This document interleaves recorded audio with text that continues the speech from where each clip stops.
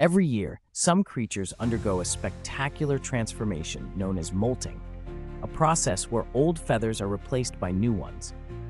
This natural phenomenon is essential for maintaining the health and functionality of these animals. As feathers wear down due to exposure to the elements, they can become less effective for insulation and flight. Molting ensures that these creatures are equipped with fresh, strong feathers that enable them to soar through the skies with ease. The timing of molting is crucial. It often coincides with seasonal changes or breeding cycles. For instance, many species will molt after the breeding season to prepare for migration, ensuring they are in peak condition for their long journeys. Interestingly, the process can vary greatly among species. Some may shed a few feathers at a time, while others might lose them all simultaneously, resulting in a temporary period of vulnerability.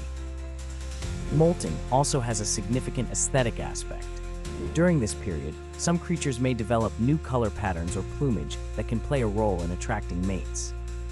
This annual renewal is not just about survival, it's also about showcasing vitality and genetic fitness, demonstrating that even in nature, beauty can be a vital part of life.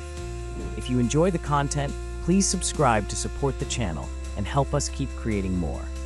And don't forget to hit the like button it really helps us reach more people. Thank you.